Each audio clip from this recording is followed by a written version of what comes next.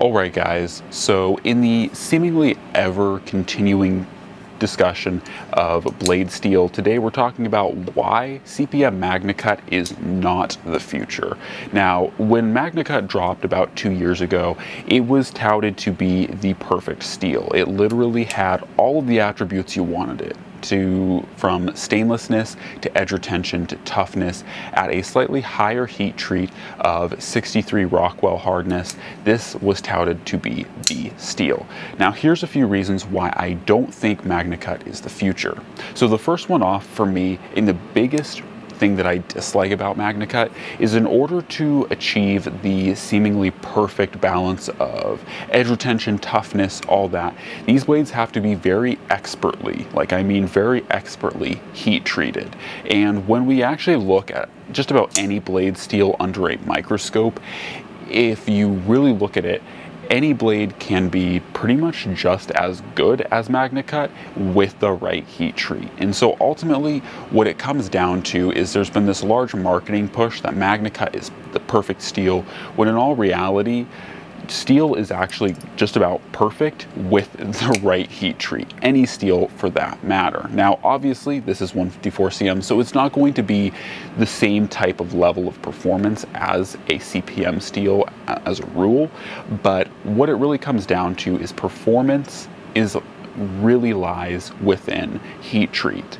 And so you can get great heat treat or great performance out of CPM 20CV, CPM S30V, CPM CruWear, um, any of them, Z-Wear. It's just really the heat treat. And so, like I was saying, the big problem with MagnaCut is that being that you really have to hone in on that 63 Rockwell, what we're seeing out of a lot of companies is that they are not heat treating their knives to that level or at least with the quality and consistency that would be needed or that we need to see to get optimal continual like by and large performance. So let's say, you know, this knife is heat treated at 63, but the knife that you buy might be heat treated at 61 or 60 or 59. And we're seeing a lot of that coming out of, unfortunately, companies like Benchmade, where they do not want to spend the time and energy that it would take to consistently bring that Rockwell hardness up to 63. Now, I can't fully fault them. I'm sure it would be quite expensive to tool up to treat their steels in-house to that higher Rockwell hardness. But at the same time too, because of that, you're not really going to see in most general applications the actual performance increase that CPM MagnaCut is supposed to deliver. And so that's the biggest thing that I have against MagnaCut. And the thing, I think personally, the biggest thing going up against MagnaCut is the manufacturers themselves. Now, the other truth that MagnaCut for me has been such a marketing steel, like it's it's a, a, steel that has been directly marketed towards knife makers and knife consumers. It's not really a steel that kind of existed, you know, and then knives picked it up and used it, something like S7 tool steel, for instance. But MagnaCut was directly created for knife makers and knife consumers, and there have been other steels like that, like CPM S30V but MagnaCut has had so much hype behind it. And genuinely, to be honest, when you look at the actual data sheets, things like AEBL or Nitro V, once again with the key emphasis being with a proper heat treat, perform at the same level of toughness and edge retention that MagnaCut offers. Oftentimes too, especially in the case of things like AEBL, you can get better or similar performance with a slightly less heat treat. So something like a 60 to 59 HRC with AEBL is going to yield a very similar performance to MagnaCut, but I think with slightly extra corrosion resistance. Could be wrong on that one. It's definitely similar, but uh, yeah. And so certainly this blade um, is on par or in line with something like Nitro V and or uh, AEBL. So that's a very important thing to note. And once again, not saying that this steel is bad. MagnaCut is a good steel. I just don't really think it's as innovative as the hype train wants you to believe.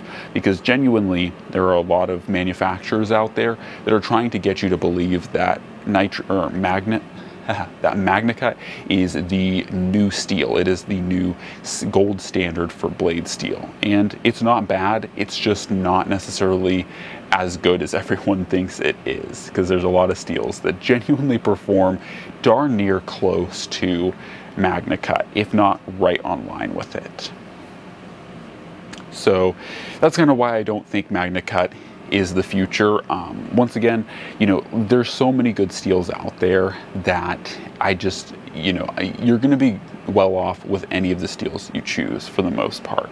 Lastly, too, I want to keep hitting this point because people ardently disagree, but I genuinely believe that with most EDC applications, the extra performance that you see out of properly heat treated MagnaCut is not going to be a true like make or break kind of situation. Once again, if you're just opening your Amazon packages with your knife, MagnaCut is not going to offer you any clear or defined benefits that something like 154CM, D2, or other steels that are supposedly lesser um, offer. You know, you're not going to see true performance fade you know, on the same level uh, as someone who would be using the heck out of the knife. Now, don't get me wrong, like I said, I do think that there are combat operatives, bushcrafters, survivalists, outdoorsmen that may truly see the benefits of higher performance steels, but by and large, the average consumer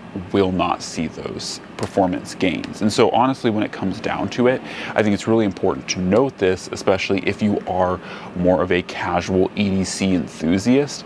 Don't pay the extra money to end up with a MagnaCut blade if there's a blade such as say this Griptilian in 154CM, that will work perfectly fine. Like this blade will open packages just as well as this blade, just as well as this blade, just as well as this blade. Like that's the whole thing here. You know, if your tasks are rather generic, it doesn't really matter as much. Now, once again, I will say I do like the Hogue Deca a lot because it comes in at a very affordable price range. And I think that was one of the original kind of marketing points to the MagnaCut steel was that it was supposed to be a more affordable steel, more affordable, not super cheap, um, that offered really good performance. So if your knife, if you're getting a MagnaCut blade like this Deca for 127 to 120 dollars, then I say go for it. Absolutely buy the MagnaCut knife, especially if it's cheaper than S30V alternatives like the Bugout. Do it, totally. But if you are faced with something like the new Buck 110 in CPM MagnaCut in titanium handles that is $400, don't do it. You will not see the gain in performance to justify that price. Anyways, guys, that's kind of my commentary on CPM MagnaCut. We're seeing a lot more knives coming out in CPM MagnaCut, so I think it's really like important or valuable to talk about like the truth of this steel. Um, anyways, guys, if you think I'm wrong, definitely let me know in the comments. As always, God bless, and I'm out.